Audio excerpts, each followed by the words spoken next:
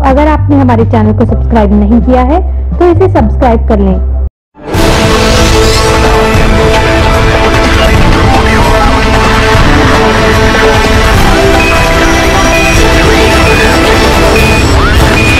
शुक्रवार को drug and food control की लेबोरेटरी में घुसकर एक व्यक्ति ने महिला ड्रग इंस्पेक्टर की गोली मारकर हत्या कर दी। वारदात को अंजाम देकर भाग रहे आरोपी को ऑफ़िस के बाहर भीड़ ने पकड़ लिया। इसके बाद आरोपी ने पिस्टल से खुद को गोली मारकर खुदकुशी कर ली। शुरुआती जाँच में पता चला है कि आरोपी की मोरिडा में केमिस्ट की दुकान थी और महिला ड्रग इंस्पेक्टर ने उसका लाइसेंस कैंसिल कर दिया था। इसी बात से वह परेशान था और उसने हत्याकांड को अंजाम दिया। फ़िलहाल पुलिस ऑफ़िस स्टाफ से पूछताछ कर मामले की जांच कर रही है ਕੈਮੀਕਲ ਲੈਬ ਦੇ ਵਿੱਚ ਇੱਕ ਨੇਹਾ ਨਾਂ ਦੀ ਔਰਤ ਹੈ ਨੇਹਾ ਸ਼ੌਰੀ ਇਹ ਉੱਥੇ ਅਫਸਰ ਲੱਗੀ ਹੋਈ ਹੈ ਜੋਲਰ ਲਾਇਸੈਂਸ ਇੰਚਾਰਜ ਨੇ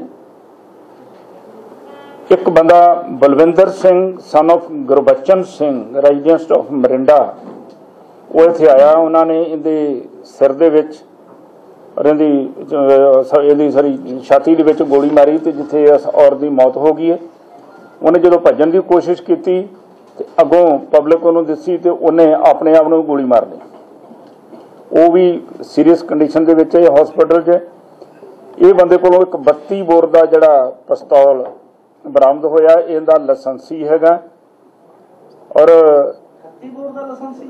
32 ਜੀ .32 .32 ਇਹਨੇ 11 ਮਾਰਚ 2019 ਨੂੰ ਇਹਨੇ ਜਿਹੜਾ ਵੈਪਨ ਲੈ ਕੇ ਆਪਣੇ ਲਾਇਸੈਂਸ ਦੇ ਉੱਤੇ ਚੜਵਾਇਆ ਔਰ ਅਜੇ ਤੱਕ ਜਿੰਨਾ ਸਾਨੂੰ ਪਤਾ ਲੱਗਾ ਹੈ ਕਿ ਇਹ ਬੰਦੇ ਪਹਿਲਾਂ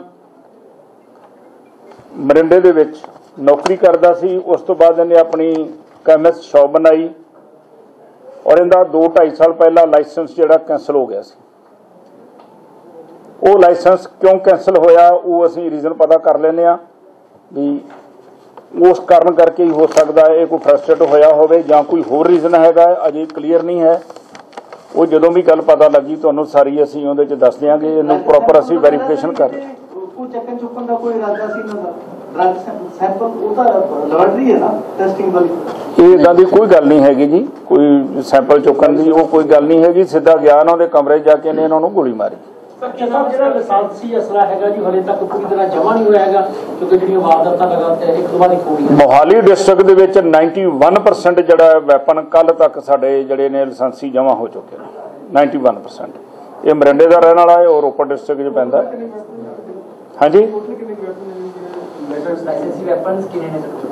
ਤੁਸੀਂ ਪਰਸੈਂਟੇਜ ਦੇ ਹਿਸਾਬ ਦੇ ਲਾ ਲਓ ਸਾਡੇ ਕੋਲ ਡਿਟੇਲ ਤਾਂ ਹੈਗੀ ਹੈ ਉਹਦੇ ਜੋ ਇਲੈਕਸ਼ਨ ਸੈੱਲ ਵਾਲੇ ਕੋਲ ਹੋਏਗੀ ਟਾਈਮ ਲੱਗੇਗਾ ਤੁਹਾਨੂੰ ਜਿਹੜੀ ਫਿਰ ਨੇੜੇ ਜਾ ਕੇ ਤੇ ਪ੍ਰੈਸ ਕਾਨਫਰੰਸ ਕਰਾਂਗਾ ਉਹਦੇ ਚ ਦੱਸ ਦਿਆਂਗਾ ਪਰ ਪਰਸੈਂਟੇਜ ਦੇ ਹਿਸਾਬ ਤੇ 91% ਜਿਹੜਾ ਉਹ ਸਾਡਾ ਜਮ੍ਹਾਂ ਹੋ ਚੁੱਕਾ ਹੈ ਮਰਨ ਵਾਲੀ ਮਹਿਲਾ ਇੰਸਪੈਕਟਰ ਦਾ ਨਾਮ ਕਿਹੜਾ ਦੱਸੋ